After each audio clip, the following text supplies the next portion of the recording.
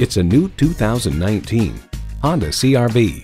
Capability without compromise isn't a dream, it's a CRV. You'll look forward to every drive with features like these.